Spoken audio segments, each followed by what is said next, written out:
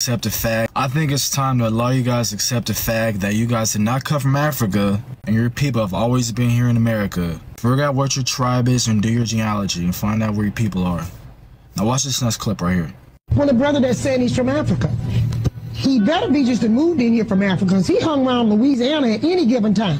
He don't know what he is. They look at us as a di- diluted race. I tell my people a lot of time back in the village, most people are more closer to being a mutt without a pedigree than ones with a pedigree. If you don't know where you come from in your genealogy, you're just a mutt. That's right. Now you can get mad with me, brother, but I want you to move from being a mutt to having a pedigree. I'm saying you come from somewhere, from somebody. Let's lay that out. So that they can stop making us feel like we just a gumbo. Who are your ancestors and which way did they come here? right. Because otherwise, you just saying you're from Africa, nobody's paying you any attention either. You just as bad off or worse. Because at least I have some land papers saying I was here. Now I want you to show me your land papers that you were in Africa.